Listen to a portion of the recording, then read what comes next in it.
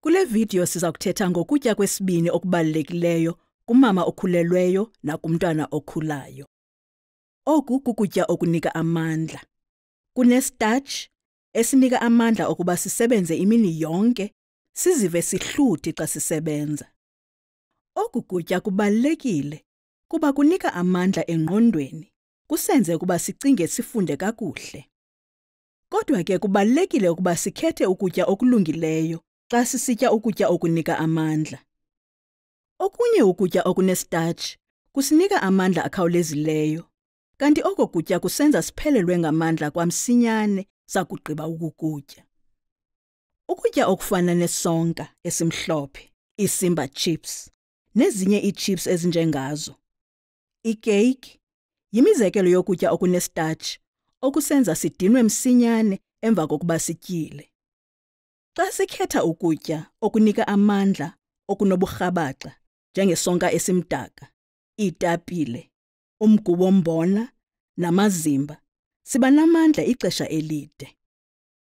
Oku kutya kusenza sizive sihluthi, sinamandla ixesha elide kuba umzimba wethu uthatha ixesha elidana ukukusebenzisa. Okunye ukutya okunestarch esininzi yirayisi nepasta, imacaroni nespagethi, nepapa, neesiriyeli, ukutya kwebhrakfesi. Ngesiqhelo, kuthiwa xa ukutya kumdaka ngombala, kuko okungcono kunokutya okumhlophe. Isonka esimdaka singcono kunesonka esimhlophe, kanti nepapa yamazimba, imaltabella, nekamilimili, umgubo wombona, ibhetele kuneesiriyeli ezithengwa zenziwe ezivenkileni. Oku kutya kusinika amandla ixesha elide. Xa uthenga isonka nomgubo wombona, khangela olu phawu. Ukutya okunolu phawu, fortified, kunika amandla kuba kukho iivithamini neeminerali ezingasincedayo ukuba sibe nempilo. Ukutya okunika amandla kufanele kwenze inxalenye eyikota ekutyeni okutyayo qho usitya.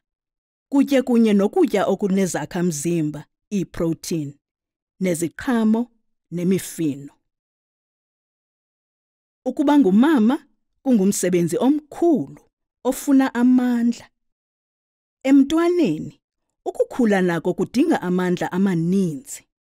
Ngako ke, khetha ukutya okunamandla okuxhasa ukusebenza kwakho ngamandla, nempilo nokonwaba kosana lwakho okanye abantwana bakho.